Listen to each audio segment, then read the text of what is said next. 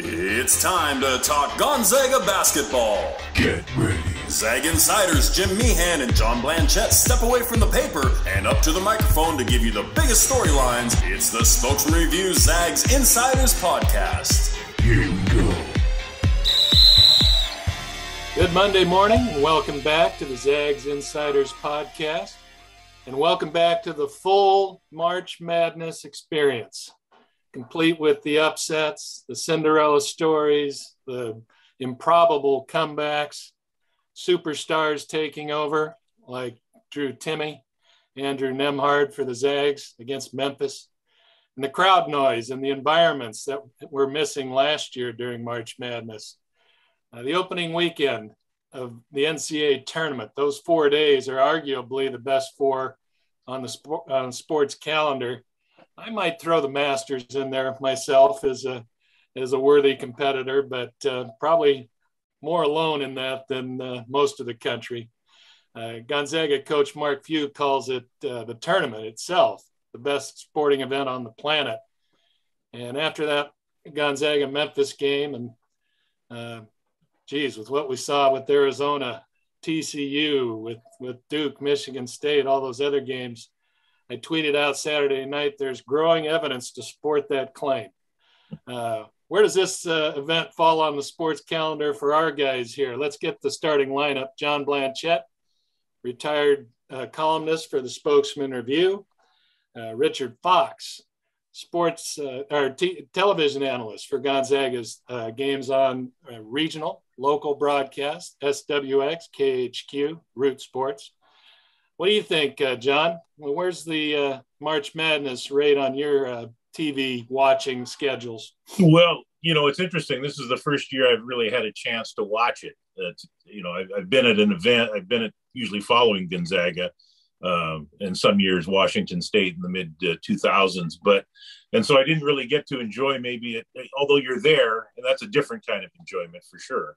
Um, but I watched more basketball in these last four days. Uh, my wife might be filing papers on me as we speak because I was pretty glued to the TV dominating it. Uh, and just no question to me that that it is my favorite four days in sports. Um, you know, I've got a lot of favorite sports. I, you know, I, I love baseball. I've always loved track and field. Um, you know, I'll I'll watch every Super Bowl, but but these uh, these four days uh, are just sensational. It's almost round the clock basketball. Um, the games just seem to get better and better. Uh, there are very few blowouts. Um, the parity is greater than ever.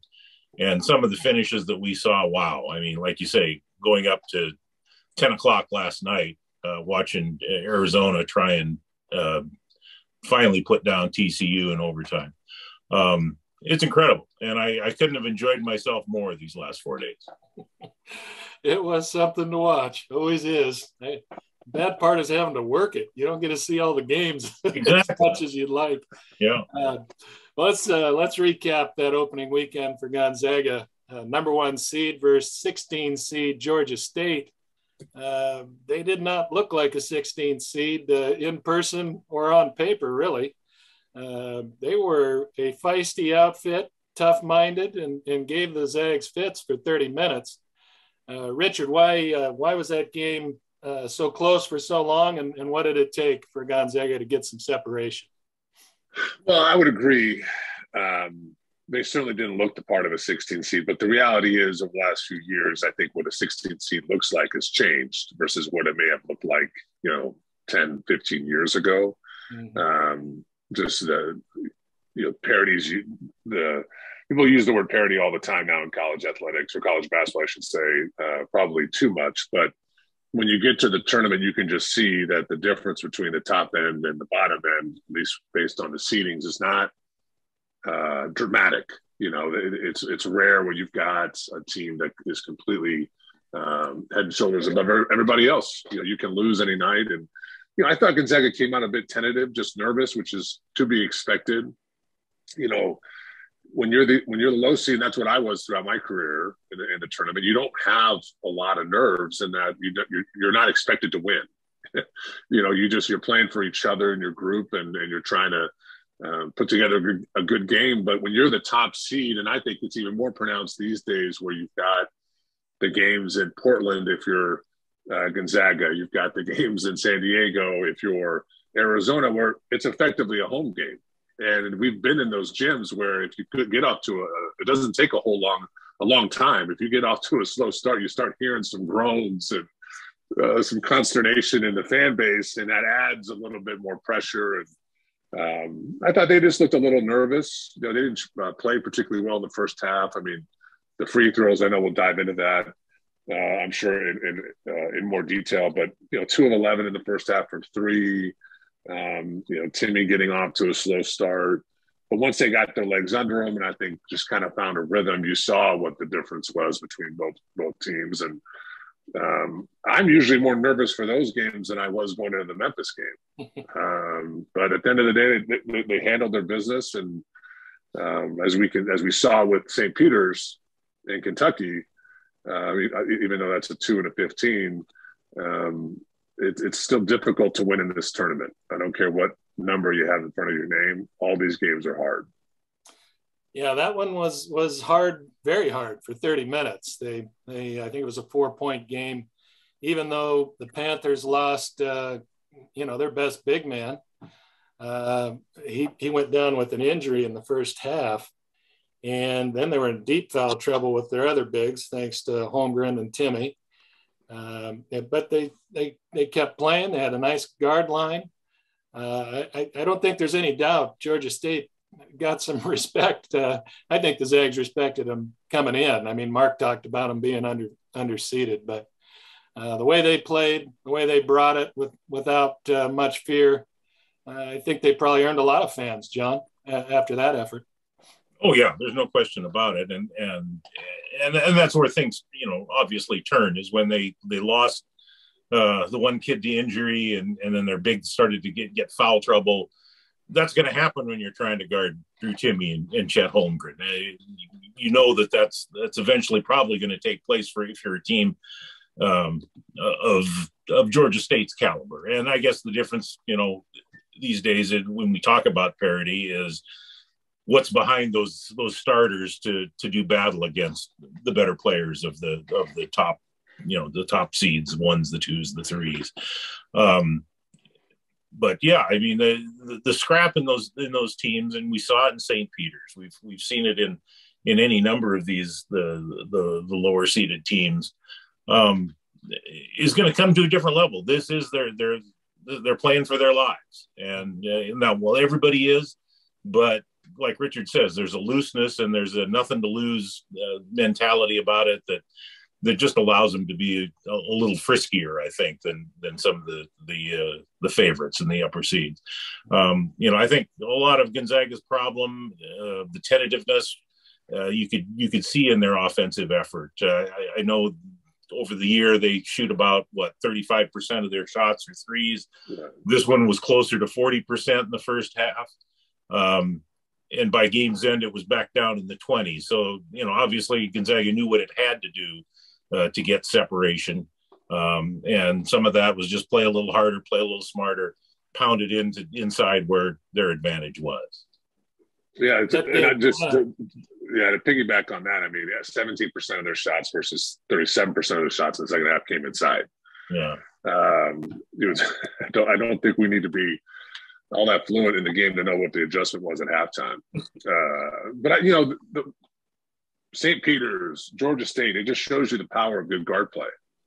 And yeah. the Panthers had a you know a, a threesome in the backcourt that can play against anybody, and I think that created a lot of problems for GU. But um, you're absolutely right, John. Once they, I think, relied a little less on that three point shot and got the ball inside, that was the difference. I kind of had the feel of a, a, game me and John covered the the Southern game back in Salt Lake City. Uh, turned into a, a real dogfight for 40 minutes, and Southern stayed in it long enough to have the crowd turn in their favor, and made it uh, exponentially harder for the Zags to finish that game. Uh, Georgia State didn't get it to that point. The Zags pulled away with about 10, 11 minutes left and, and uh, took care of business by 21. Uh, let's move on to Memphis. And uh, I watched Memphis play Boise State. uh, before the Zags game against Georgia State. And man, that first half was a clinic. And they were uh, athleticism, mind boggling athleticism. I mean, pressure, take you out of your offense, force bad shots, uh, get after you on the glass. Um, they and they hit shots. Uh, so they took Boise. Uh, they, I think they had a 19 point lead at halftime. And I saw Adam Morrison, uh, GU's radio man, uh, you know, in between the half, and I said, "How did these guys lose 10 games?" I mean, they looked that good, and then the second half, it kind of showed how they could lose 10 games. The, the wheels came off offensively. Boise clearly the aggressor and and got back in that game and, and pushed them to the finish line before Memphis won. I think everybody knew the Zags challenge coming into uh, the, the, game on Saturday was going to be uh, trying to keep them off the glass, was how you're going to score uh, against the uh, the length and the athleticism, how you're going to handle the pressure, which uh, Andrew Nembhard uh, was extraordinary for 40 minutes in that game. And and Drew Timme uh, after a little halftime scolding of himself and teammates and Mark Few getting in all their ears, uh, did what he did against Georgia State against a, a much better uh, opponent and took that game over for a while and got the Zags back in it. Uh, halftime of that game, the Zags are down 10. I will freely admit I, I was not too high on the confidence level coming back from that deficit, especially after watching it how how they got down 10 richard give me your uh, give me your confidence level at halftime and, and what you saw to, to turn it around in the second half i mean 100, uh, obviously 100% i mean i knew drew drew was going to go off in the second half uh, I mean, you're certainly. I was certainly concerned, but I, I will. To be perfectly honest, there was something about that first half that I thought they'd be okay. Um, but you, you you weren't running away from Memphis. But you know, I watched it again last night because I'm a degenerate, and you know, was really wanting to watch Timme, and I I thought he played well in the first half. They just couldn't get him the ball. Every time he touched the ball, he either got fouled or he scored. Um, but the, to your point, Jim, the pressure from Memphis and their length you know, on so many catches other than Nembhard and Bolton. When I looked at Strawther, when I looked at Holmgren, yeah. on their catches on the perimeter, their backs to the basket. You know, they're trying to protect the ball. And so as a result, you know, there was a handful of possessions where you either, you know, either Drew had good position or you had a guy on his back and they just never gave him the ball. Um, and he wasn't as forceful as he clearly was in the second half at demanding the ball. And I thought in the second half, you know, I'm sure we'll talk about kind of the adjustments, he started catching the ball just further away from the rim, making it easier on those guys to deliver it. And then he just went to work. Um, but to your point about Memphis's second halves, I mean, you know, you saw that against Boise, and you know, it felt like they may come a bit back down to earth in the second half as far as shooting the ball. And you know, we saw that one of seven from three, um, and just they they they couldn't find the same rhythm. But um, you know, they said this on the broadcast, Jim, and, and you may have missed it, but I totally agree with it, and I'm sure John did too. Memphis is different. That speed and athleticism, you can. I mean, they, you're hard. You'll be hard pressed to find another program that has that at that level across their roster, and it can take a while to get used to what you're what you're seeing as a player. Um, and I think it took you know GU about 20 25 minutes to finally get comfortable with that pace and not play rush, but actually just play fast but under control. And the depth. I, I was very yeah. impressed with what they brought in. The backup bigs, second and third backup bigs, uh, were very good. And uh, they bring in Emoni Bates off the off the bench because he's kind of battling a back injury. Uh, he is the top five recruit in the country, and uh, kind of a smaller Chet Holmgren. He's about six nine and about 185, really long and, and thin, but very effective. Uh, still working his way back. You, I think when he's healthy, you can see he can be an important player for him. But uh, what a what a second half the Zags had with the with Memphis to uh, kind of. There was one point there where they they they uh, kind of caught up. Memphis pulled ahead 55-51 I thought two of the bigger baskets that kind of went, you know, into the background with what happened later were Rasir Bolton's two buckets in a row to tie that game. And as much as Drew did to, to get him ahead, I think it's 68 66 with an assist to Holmgren. It was those guards down the stretch, uh, Nembhard in particular, and, and Rasir Bolton that, that uh, lifted them to the finish line. Uh, John, your takeaways from uh, just an instant classic to watch on television and in person. Yeah, you guys uh, touched on them pretty much all. I just, you know, as as good as Drew was, a couple of those shots that he made were, were kind of ridiculous. I remember one turnaround shot uh, from about 12, 14 feet away that a little farther out of his comfort zone. And I know Richard Richard made a great point about coming out a little farther to get the ball, but making the shots from out there can be can be tough uh, when you're used to, to operating in close. And if he does make a couple of those, then the, the, the climb back is uh, a little harder than, than that. But your point about the guards is, is exceptionally well taken. Memphis's depth, uh, I thought was amazing. Uh, that they, I, you, we talked about the the parity issue, and with a 16 seed, that the guys that come in to try and stop the bleeding when they have to, when other guys get in foul trouble or get tired, it isn't quite there with a 16. Boy, it was certainly there with Memphis, and it was there with Memphis to the extent of well beyond what we expect from an eight or nine type seed. That this was a, this is a national caliber club that that uh, that could easily have been a much higher seed. For Nembhard and Rasir Bolton to deal with that kind of pressure, uh, that kind of athleticism, uh, without flinching at all, um, not just settling for threes, taking them when they in rhythm, uh, in appropriate times, but taking the ball to the hoop uh, when they had to, and dealing with uh, guarding them on the other end. Um, there's no question that, that their contributions were, oh, you know, every bit as, as crucial as, as Drew Timme's uh, power moves inside.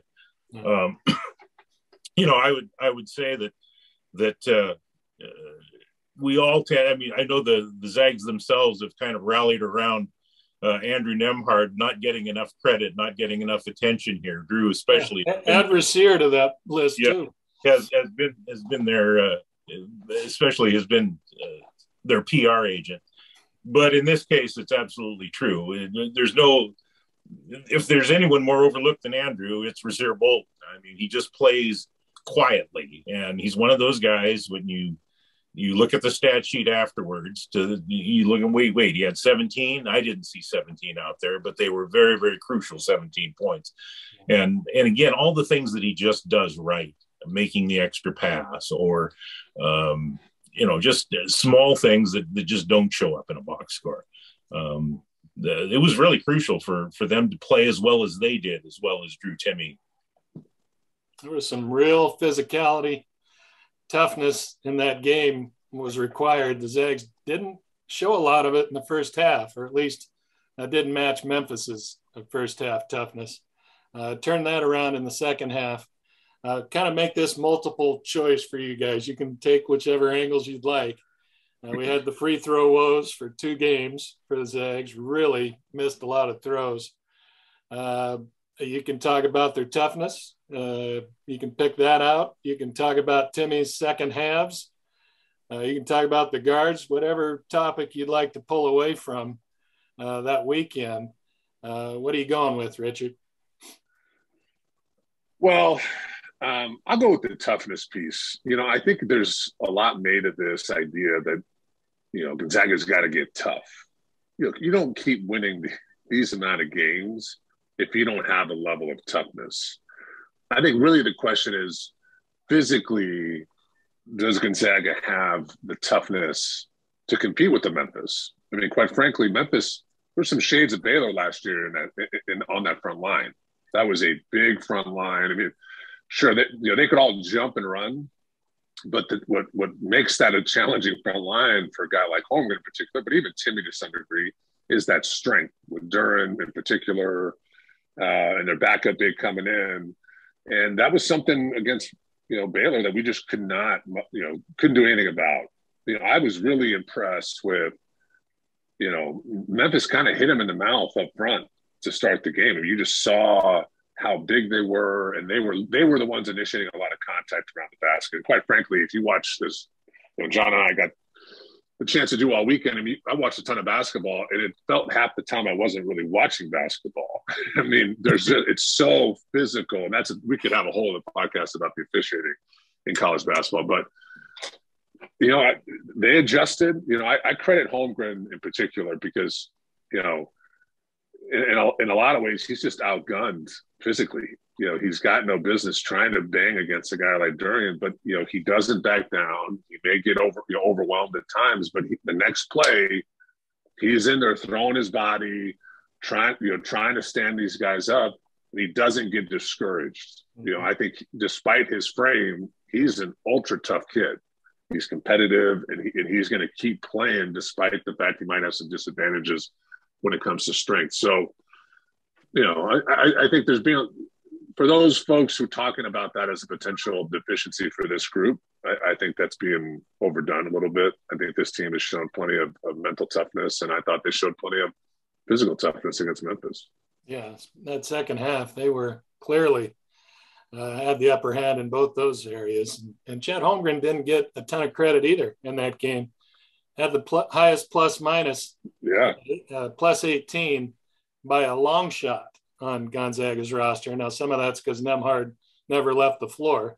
So he's plus four no matter what the the stats say. But uh, Chet blocked shots. He got rebounds. He, he didn't score it as well as, as maybe uh, he had hoped, but uh, definitely an influence on the defensive end. Uh, you know, that was that was a really entertaining 20 minutes of basketball and a high, high level game. Uh, John, it kind of offered the topics there, the multiple choice A, B, C, D with free throws, with toughness, with the guards, with Timme. You can go E if you'd like uh, on your own, whatever you'd like. But uh, what do you what do you see against Memphis? Well, in, in regards to the toughness issue, you know, and Richard's point is, well taken. You don't win this many games without without having some level of that. But every year in this tournament, there's the toughness game. I think it seems it seems to happen every year. I remember back in 2017, it was the West Virginia game, the same type of ultra physical uh, grinder game.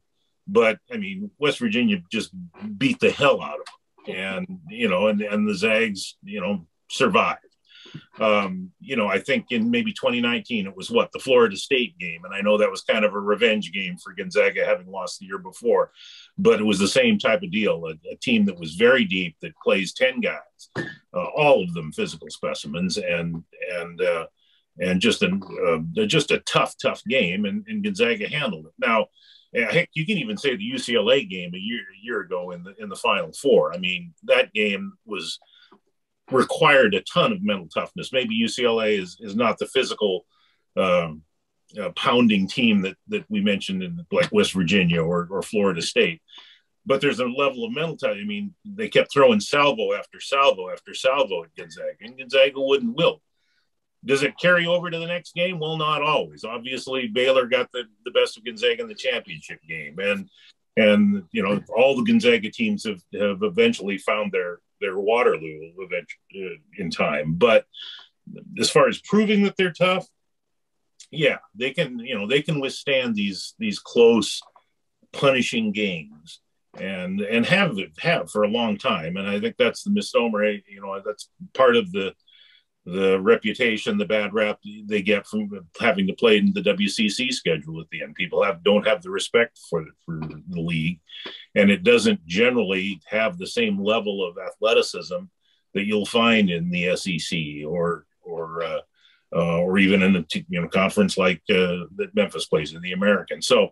Uh, if you're looking at a mid-major league, uh, I don't know. I just think uh, the toughness thing is is overblown a little bit.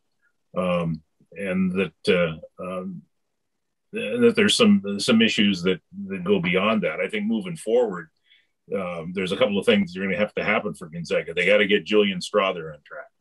Um, you know, I think he's 0 for 9 for 3 in, in the tournament so far. Um, and was really kind of a, a invisible man in the, in the opener against Georgia State. You know, I don't know what you get. You know, you know that's a matter of getting a guy a couple of shots early that that he can knock down uh, maybe get his confidence a little bit. But you know, if he even if he's not playing or even if he's not shooting that well, he has to maybe be a little more involved uh, in other ways, whatever he can do to help. But they've got to get him untracked a little bit, and they need the steady presence that that uh, uh, Anton Watson showed in the in the Georgia State game where he was sensational. Um, they kind of needed that a little more against Memphis and, and uh, maybe a little earlier than they saw it. So, um, you know, you've got to, there's the level of consistency that you have to bring in this tournament. You, you can't afford off nights and, and really they can't afford them from anybody at this point. Well, it's on to San Francisco for the top four seeds in the West, all advancing. I believe it's the only region where chalk held up, at least seeding's held up. Number one Gonzaga versus number four Arkansas, and if uh, uh, Saturday's game was was pretty much a 40 minute audition for what you might see in this one. Uh, Arkansas, very athletic team as well, deep, uh, great length, maybe not the size that Memphis had, uh, I mean, the uh, Jalen Duren in the middle, it, it, uh, 6'11, 250. Hey, what is he, 18? Maybe 19 years old. Uh, uh, he Dwight Howard has nothing on that man, on this kid's body. I mean, he is NBA ready. You can just see it. And when the post moves come, he's he is uh, going to be sensational. Uh, the other matchup is Duke versus Texas Tech uh, two versus three. Zags have seen both teams. Uh, lost to Duke, beat Texas Tech. Uh, let's uh, let's get first Duke Texas Tech. That is very interesting. Duke wants to score in the 80s. Texas Tech would like to see it in the 50s. Texas Tech playing much better than they did against Gonzaga in, in December. Have Terrence Shannon back. A deep team, talented team that thrives on defense. Duke uh, can really explode offensively. They got Michigan State in those last two or three minutes when it was starting to look like Coach K's last game. They really pulled it together offensively. Uh, John, what do you make of uh, uh the Blue Devils, the Red Raiders? I, I, I still marvel at Texas Tech's roster. They've got what the two six eight guys, and then everybody else on the roster is six six two fifteen. I mean, whether it's a forward, a guard, and and I, I, don't know how anybody scores against them. I don't know how Gonzaga scored 69 against them the first time around. They are relentless. Um, and and that's going to be a, a, huge, huge challenge for Duke, even with Duke's Duke's got great balance. I think they got what five guys in double figures, and then the the Roach kid, who was kind of unsung hero um, uh, yesterday, uh, was is uh, is da- is darn near a, a ten point a game guy. So um, you know it's going to be a great a great test for Duke. Uh, I know there's a lot of um, sentiment nationally about the Coach K Swan Song tournament here, and I I hope that and I'm a great Duke conspiracy theorist, myself that that uh, yes, the whistle goes in in the Duke's direction more often than not. I hope Texas Tech isn't isn't a victim of that because they do play a very physical style um, they do pinch and squeeze. And and if if Duke wants to, you know, Duke has the outside shooting. They've got uh, um, a couple of, of, of, real knockdown guys in uh, uh, Griffin and Moore, and uh, so they can, you know, they can maybe stretch Texas Tech out a little bit if they're hitting. But if they're not, it's going to be a long afternoon for them. I think it's going to be a long afternoon anyway because Texas Tech makes every game a long afternoon. Yeah, there was one play there. T- Texas Tech kind of put it together late to beat Notre Dame. They they were in trouble as well, and and got it done at the end. And uh, I think they scored know, 20 seconds, 15 seconds left. Their guys they were celebrating, but they ran back down and they guarded that last possession. It didn't mean anything, like their lives depended on it. And they just have that drilled into them that that uh, that that is an anchor for that team something they can rely on. Uh, the game uh, everyone up here wants to talk about is Gonzaga, Arkansas, Richard, and this is going to be another interesting test. Arkansas has has struggled to score it, frankly. I mean, 53 points. I think I read somewhere that the that's the lowest score by an SEC team to win an NCAA tournament game. Uh, the other end of that is they held New Mexico State to 48. Uh, this is a, a, a, great defense and and an offense that, if it finds itself, really could make Thursday's matchup interesting. What uh, what are you looking forward to see Gonzaga, Arkansas? Yeah, well, Arkansas is going to their identity is defensively. Uh, one of the best defensive teams in the country. Um, you know, they shot 27% over the weekend from three. That's just under what they shot on the year, which I think was 30 um, from three. You know, they're not quite the same, uh, you know, quote unquote balance as Texas Tech with size, but just a very perimeter forward dominated team other than Jaylin Williams inside. They don't have anybody that you really would look at and say there's a, you know, a five man. So they don't have a lot of size up front, but what they do do is they swarm. They're really active and they play ultra hard. And, and when you look at what they did in the SEC, they're not going to be afraid, which you know you wouldn't expect anyway. But you know they beat what LSU, Kentucky, Auburn, um, the who's who of the SEC. They beat them. Tennessee at one point. Um, so this is a top end team. I mean, this is what you're going to play as you get further in the tournament. Is they're playing a top 20 team to try to advance to play a top five team. Um, just kind of how it works. So, um, you know, I, I, would think this is a game where Holmgren should be more comfortable than he was against Memphis. They don't have the size to really just beat him up. Um, and he's not played uh, as well offensively as we saw towards the end of the regular season at WCC. I think it's what was the 0 9 from the three point line in uh, in conference play, or rather in the, in the tournament over the weekend. Um, I'd expect him to be better offensively and then just more disruptive than he was already this last weekend. So I, would expect Chet to have a nice uh, Sweet 16 game. And if at some point someone's going to say, we can't let Drew Timme just go to work and, and go get almost 30. So is this going to be, you know, do, do, the Razorbacks look to maybe get the ball out of his hands, really be deliberate about doubling them? And can a guy like, to John's point, Strawther get going from three? um, it's going to be fascinating. But I, I, actually don't mind the matchup for GU. As good as the Razorbacks are, I, I think this is on paper anyway. It, this is a good matchup, and so often these games come down to that in the tournament. I think Gonzaga is a bad matchup for for, uh, for Arkansas. Well, let's uh, let's hit one final topic before we we call it a morning here. It's uh, two da- two games in, uh, kind of different uh, uh, performances by Gonzaga in both. They take care of Georgia State 93 72. Uh, outlast Memphis 82 78. Um, is GU living dangerously, or, or, is this just how it's going to be in tournaments? I mean, th- this is what we see year after year a lot of times. Did the opening weekend uh, make you feel more optimistic or less optimistic about the Zags' chances going forward? Uh, Richard, we'll, we'll go to you first. I feel fine. I, I mean, I, I, I, I good, feeling stretched I feel, out. I, I, feel good. Yeah, I got up really early this morning and uh, you know got a little workout in, just getting ready for the podcast. No, um, you know, I, I think John hit it on the head earlier when he said every every tournament, if you make a deep run, you've got that toughness game. And I think for Gonzaga to have that in the opening weekend, not that they're not going to play another team like Memphis with that kind of size and all that all that stuff, but to have seen it this early in the tournament and, and survived it has to give this group a ton of confidence. Um, and they just have a person, you know, when you look at who they have, in particular, you know, their upperclassmen with Nembhard, Timme, and I think you've got to add Bolton to that mix. You've got three guys who are not afraid, who, and you know, you know they're going to play well this weekend. They just are. They, they they're consistent and they're and they're they're wanting to, they want that moment. Now, does Strawther have a better weekend? Does Holmgren get going offensively? I, mean, I just don't. Do that we'll see. But when you've got those three guys and you've gotten through that quote unquote tough game in the second round, I got a ton of confidence that they're going to have a good. I expect them to win Thursday.